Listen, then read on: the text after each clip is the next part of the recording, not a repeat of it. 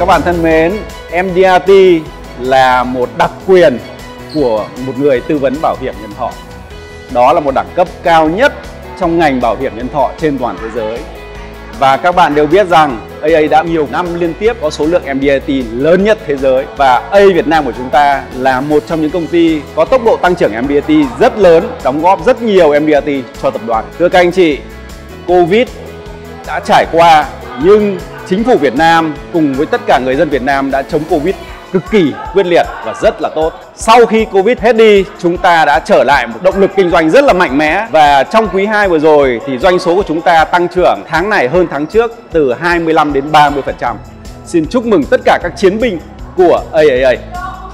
Thưa các anh chị, MDRT tiếp tục được AA đầu tư không những là các chương trình huấn luyện mà còn rất nhiều quyền lợi khác để giúp các anh chị về đích đó là những quyền lợi liên quan đến chính sách cho khách hàng, liên quan đến chính sách thẩm định và đặc biệt là những chương trình thi đua hấp dẫn và những chương trình cho khách hàng hiện hữu của MDRT.